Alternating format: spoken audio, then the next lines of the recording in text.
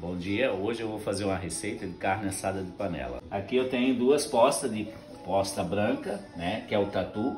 Tirei da embalagem, gosto de dar uma escaldada na carne, né, só para tirar aquele sangue da embalagem. Uma escaldadinha, depois passa água quente em cima dela, eu gosto de trazer, fazer um surim com a faca bem fininha, dos dois lados, né, só dar um surinho que você vai colocar uns temperinhos antes estar tá selando ela e vai penetrando o sabor do, dos temperinhos que eu coloco antes já na, na, carne. Então aqui eu tenho duas postas de posta branca, o tatu, o assado de panela.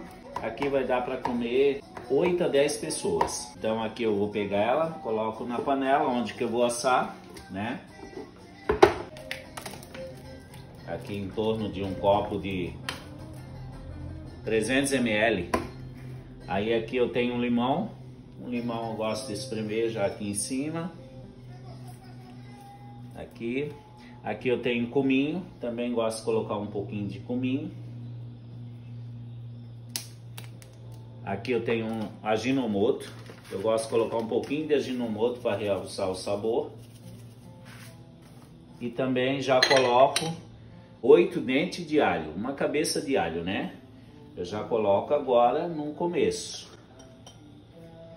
E o que eu uso também é quatro tabletinhos de caldo quinor de carne. Seria dois tabletinhos para cada poça, né? Ela vai deixar a água bem temperadinha quando selando e vai pegando o gocinho. Então agora, né, já tá na panela, já deu uma fritadinha no alho. Eu vou agora é, colocar um pouco d'água para ir cozinhando para amolecer e botar um pouquinho de sal. Se o caldo quinoa não é o suficiente para ela ficar no sal certo. Então aqui pode ver que o, o alho está fritinho, o caldo quinoa já se desmanchou, né? E agora eu vou colocar água para cozinhar a carne. Ó, agora mais uma vez vamos colocar uma água, né? Aí amolecendo. Porque ela já está bem douradinha, né? Que aí vai selando ela e eu vou colocando água para ir amolecendo a carne. Aí perguntar, a água pode ser fria? Eu não gosto de colocar água fria, eu gosto de colocar água quente já para não dar aquele choque que talvez aí endureça a carne, né? Você tá com uma temperatura alta, joga uma água fria em cima, então procura sempre estar tá regando com uma, uma água quente já, com a temperatura que está ali mais ou menos, né? Agora a carne já tá molinha. Eu fui regando água até ela cozinhar. Fiquei agora selando ela. Quando ela tava com um pouco mais de caldo, eu tirei a reserva para rechear o tempero. Agora vou misturar o tempero, três tomates, quatro tomates, três cebola média e temperinho verde. E aí eu coloco o tempero para refogar o tempero para finalizar ela. Vamos agora acrescentar o fundo aqui, ó.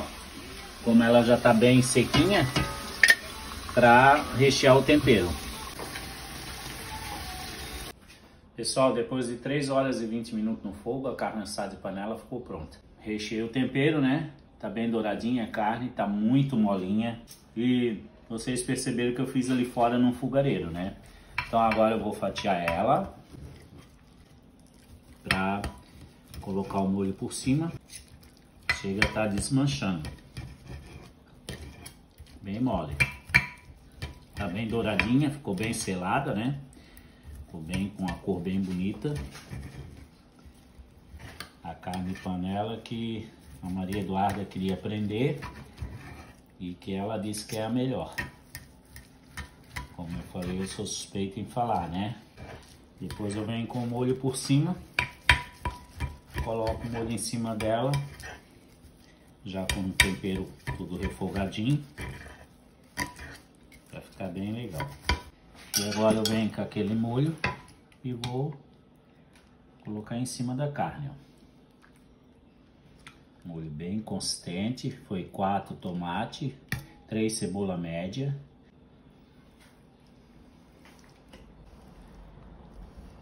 Pronto.